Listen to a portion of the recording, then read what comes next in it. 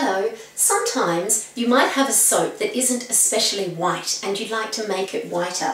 For today we're going to use the Palm Free soap base and as you can see it has a slight honey colour, a little bit of a translucency to it uh, but it's certainly not a white white soap and I'd like to change that.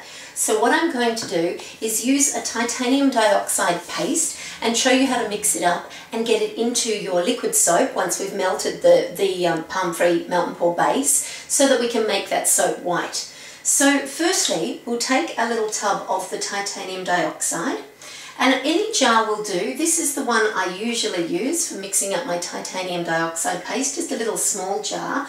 But today I'm just going to use a glass jar that's a little bit bigger and a little bit easier to mix around. So scrape the titanium dioxide paste out and pop it into your jar.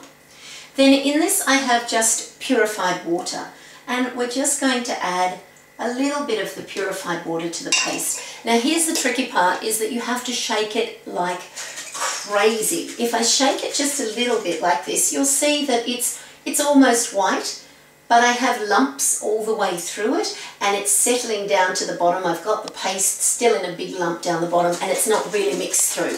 So this is why a larger jar is sometimes easier because you can really get this really, really good shake out of it. And if you've got a stick blender, that's even better. Quite often when I do it, I'll use a stick blender just to blend it up and down a little bit. But for today, we'll make it in a slightly larger jar and we'll mix it around quite well. Now let's have a look and see how that is if I've got paste. I still have a little bit of paste, but primarily it's mixed through. So that will do for me. Dry my hands so that I don't drop it. Okay. If you want to make it really concentrated, add less water or add more paste. But just to give a rule of thumb, we're just going to use the one tub at a guess, I suppose that's probably around about 25 milliliters of water, maybe a little bit, maybe a little bit less. And when I look in here, I can see that it still has the speckles. It's not fully dissolved. Using a stick blender would clean all that up and fix it. But never mind, we'll pop that, um, tip that just in with the other one that I mixed up a few minutes earlier. And then we can have a look at how much is left in the container. So if you have a look in the container, you'll see there's quite a bit of the paste in there. Shaking it even harder and mixing it with a stick blender will help to clean that up for you. But let's see what happens if we don't use it all. Let's see if we just use what we've got. So essentially now I have water with the titanium dioxide paste mixed all through it. And uh, we're just going to add that into the melt and pour soap base. So I've cut some pieces off the palm free base and I've pre-melted those into, into, a, uh, into a Pyrex jug. It's just been sitting while we've been talking so it's got a little skin on it so I'll take the skin to one side and you can see once the palm free is melted it's a lovely clear soap base but it does have a slight honey colour to it.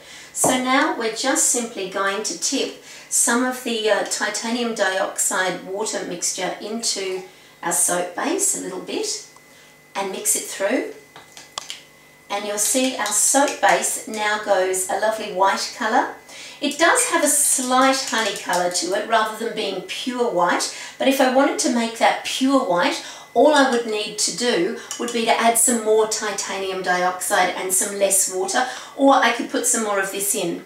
Remember this is a water base so as you add lots of it to your soap base you'll be making your soap a less firm consistency so you don't want to add too much but I think I'll add just a little drop more in there and stir that up a little bit more and I'm quite happy with that white. It looks nice and creamy.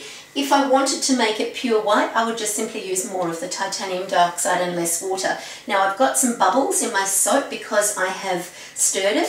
So one spray of the uh, isopropyl alcohol will fix that. And now I have a lovely white soap base. I'll pour it into a mould so you can see as it comes out the colour that we're getting. And it's a nice white creamy base. But how does that take other colours? So what I'm going to do, I've got a little bit of um, Moroccan rosemary oil I'm going to scent it with, just a couple of drops. of the Moroccan rosemary. And I've got some purple Renascent College pigment. So I'll add a few drops of the pigment in as well, just so you can see how it colours up. Maybe um, three or four drops, just a little bit, because I just want a hint of purple in it, rather than a really dark purple. Give that a nice stir. And you can see I've got a nice lavender purple taking place now. Again, spritz it with the isopropyl alcohol to break those bubbles. And I can now pour that into a mould. If you have a look, you'll see the colour. And it's a really lovely, gentle purple colour. If I wanted that to be a really dark purple, I'd just simply add a few drops more of the pigment dye, but that's kind of the colour that I'm after today. And it's as simple as that. To colour up any of your soap bases or to make them whiter, use your titanium dioxide. Now, one question that we get asked about that is, why do I need to use more dye when I use a titanium dioxide paste? Well, the easy answer to that is to think about a glass of water. If I had a glass of water and I put one drop of purple food dye in it, well let's say red, red's easier to understand. Let's say I put one drop of red food dye or pigment dye in it, it will go red.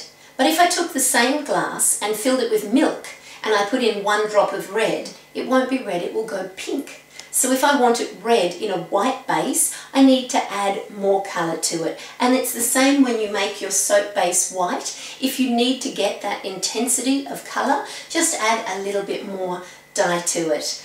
I'll pop these out as soon as they're set and show you what they look like.